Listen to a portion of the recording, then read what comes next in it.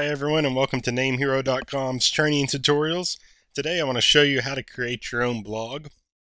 Over the last 10 years, blogging has become very popular to say the least. I mean, basically anyone out there watching this video from whatever country, you can create your own website, your own blog, and you know, you can have your voice heard by thousands, if not millions of people from anywhere that has an active internet connection. And nowadays with cell phones, your reach can be tremendous. So I'm going to show you exactly what you need to do to set up your blog today. Okay, to get started, I'm going to show you one of my blogs, and um, you can navigate your browser to WrestlingNewsWorld.com and, and take a look. Um, this is one of my blogs that has to do with professional wrestling, um, WWE, TNA. Um, and so you can see we write articles here on our WordPress blog um, that are viewed by hundreds of thousands of people a month. This is this site's very popular. Um, and I started this back in the early 2000s, um, this website in particular. But I'm going to show you how to create something similar.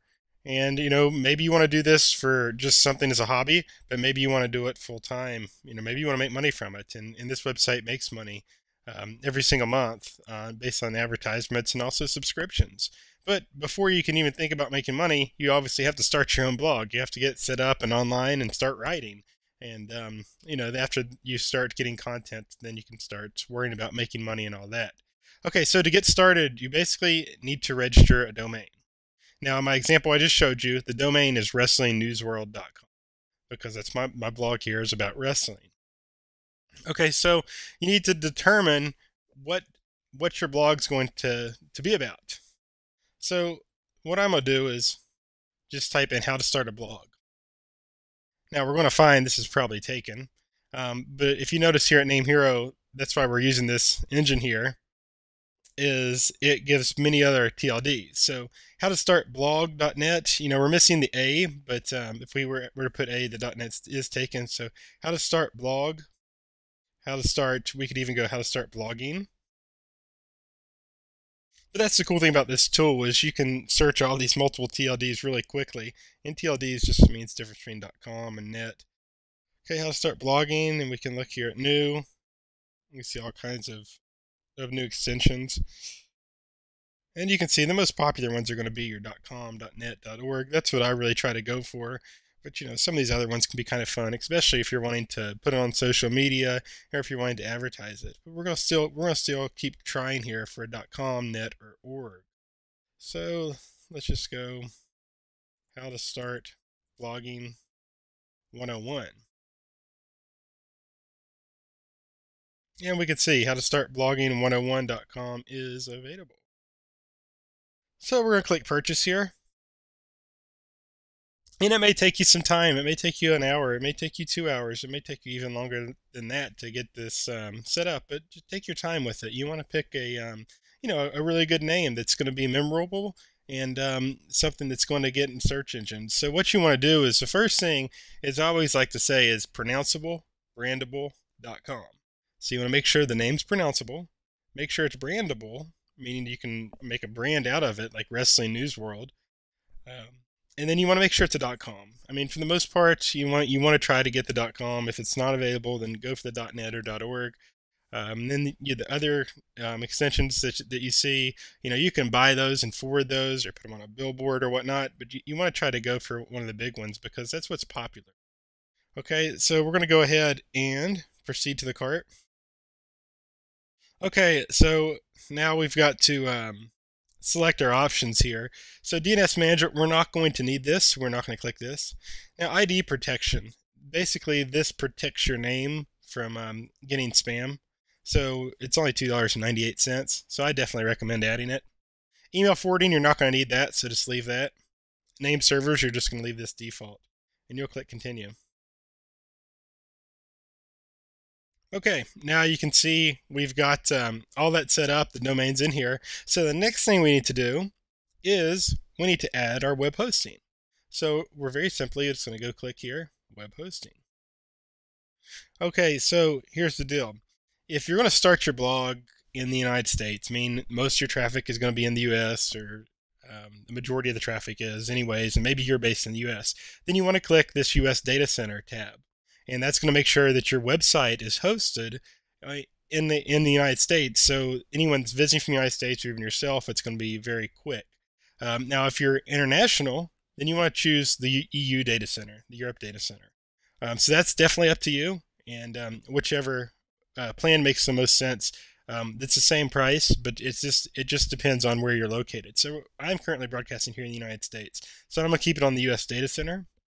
Okay, now the starter package, that's what you're going to want to go with.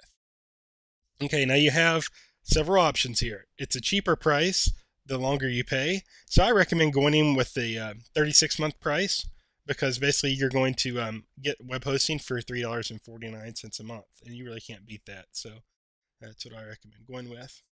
Okay, so it's going to say use the domain or in my shopping cart. We're going to click use. And now you're going to see our 36 month price. We're going to click continue.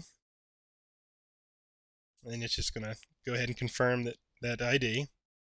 Okie doke. Now you can see here we've got everything set up. We've got our basic hosting plan. We've got our domain registration. Um, and we also have a nice discount on here. You can see there's a $90 discount. So it's only going to cost $128. And this is for three years. So that's a really good deal. I mean, just a couple dollars a month, and we're going to start our own blog here. So we're going to click check out. Okay, so now we're going to fill out our personal information and um, complete our payment, and then we'll continue. So one second while I pause this, just so I can get this filled out and um, paid for, and then we'll go to the next step. Okay, after you get your payment made and stuff and, and all that good stuff submitted, you can go into the client area here of namehero.com. Now this is very simple and straightforward. Since you already set up and configured your domain, the only thing you need to do now is install the blogging platform. Well, the cool thing about that is it's all automated and it's very simple.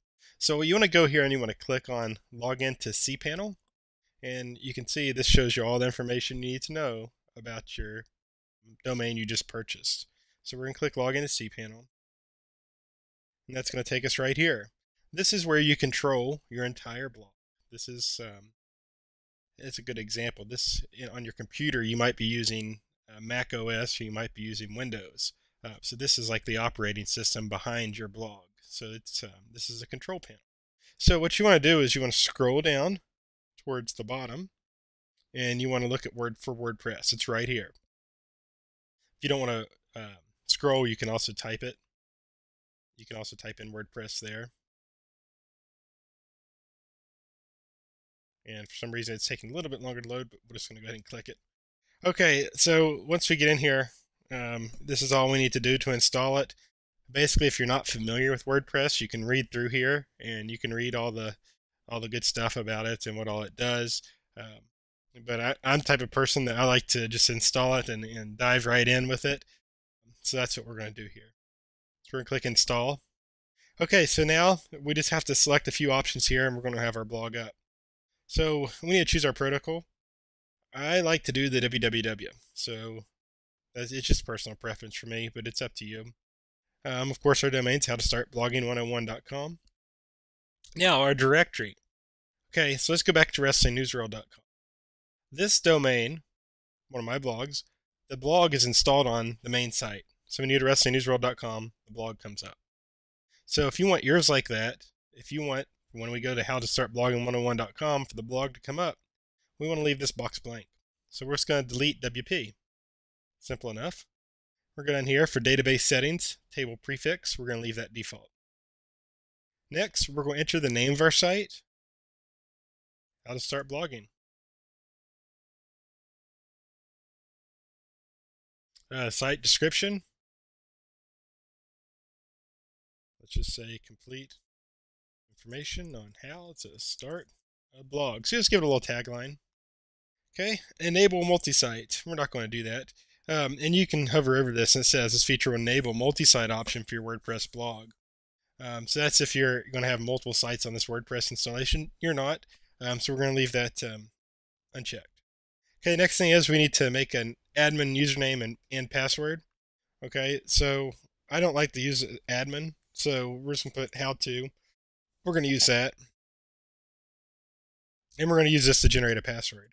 Make sure you copy that down because if you lose it, it's we our support department can reset it, but it's a little bit of a pain in the butt. So next, you want to enter your admin email address. This email address is where you're going to recover your password if you lose it, or uh, you know if you um, if you the default contact and stuff like that. Enter your email right here. I'm gonna leave this as default, but if you have another email you're using, say a Gmail, I'm going to enter that there. Next, you can select your language. I speak English, and you're going to use English, so I'm going to keep it in English. Feel free to change that uh, as necessary. Okay, there's some plugins here, such as limit login attempts. That's a pretty good one, so we can just go ahead and add that. Under advanced options, there's some other stuff here. Um, database name, you can leave that uh, normal. Um, disupdate or disable update notifications. You can hover over each one of these info boxes and it'll tell you more. Advanced options. But um, really, to get your blog online, you can just ignore now, here's the, the cool thing about WordPress um, is, we can, we can you know, you want to have a customized blog. Well, you want to have a custom theme. You don't want to have the default WordPress theme. Um, so if you look here on my Wrestling News World blog that I showed, it's got a custom theme. It's not just the default WordPress. So what you can do is you can scroll through these themes that we have pre-installed for you and there's a lot of them in here. And you can find one. Now, this is optional. You can go search through the internet for other WordPress themes. Some are free. Um, you can buy some, but these all on this page here are professionally uh, coded and free. So uh, most more than likely you're going to find one on here that um, really fits your needs, especially to get you started. Uh, too many people spend way too much time trying to find the exact right theme when they, they don't even have any content. So I prefer to see you actually find your theme right here and then start blogging a little bit, start getting that content up, and then you can change the theme later. That's that's really easy to do. And so you, you can also see, you know, if you're say an, an attorney, um, there's pre-made sites for you, and you can see that's that's super super easy to get going here. If you if you are an attorney or, or a professional organization, so what we can do is we can just scroll back here and some of the more basic blogs let's just say let's take a look at this one okay yeah this is gonna looks like a, a nice little um, theme to get started on here. I like how these posts and stuff are here. So what we're gonna do is we're gonna select that one. So we've got it selected. Sure select. Okay scroll down. Okay now all we have to do is push install and this will get going for us. Now if you want to say you have a technical person that may be overseeing your site or helping you out, you can enter their email address right here. But we're not going to do that. We're just going to click install. Okay, so this whole, the next process here, just it's going to take five minutes, maybe at the max, just while it installs everything for you. Maybe shorter than that. Okay, and you can see, congratulations, the software was installed successfully. So now if you go to your domain, you're going to see you have a website going now. Your blog's up. So now you, you can go in and start um, customizing it. So to do that, you're going to notice you have an administrative URL. And this is um, where you're going to actually make your blog posts and all that. So remember, we made our username how to, and we copied that real strong password down. So we're going to log in, and um, this is where you're going to do everything. So um, if you want to write a post, you can click post, add new post, welcome post, welcome to my site. And um, you can add images, all kinds of stuff in here, and you can just get in here and start playing around with it. Um, you're not going to master WordPress overnight, but I definitely recommend going in and just playing around, adding new posts, and playing with all the options in here, and getting familiar with the formats, getting familiar with the categories and the tags, and even the featured images. And um, because you can't break it, and that's going to let you understand how you're going to publish your blog post. So what we did is we just click publish. So we can click um, view posts, okay, and we can see um, this is the post we just made. It says welcome to my site. Uh, so you can see our blog is now online, and um, you know we can start posting right now. And um, what, what we can do is we can actually go to we can click on themes here from our dashboard, and you know if you want to change it to a um, different theme, if you if you didn't like the one you just installed, um, there's some other ones that are already installed for you. Um, so you, that's the cool thing I like about WordPress is you can just get started with a theme. You look at it and see it doesn't look too good, then you can change it. So look, I just changed this to this theme here, and that's the welcome post.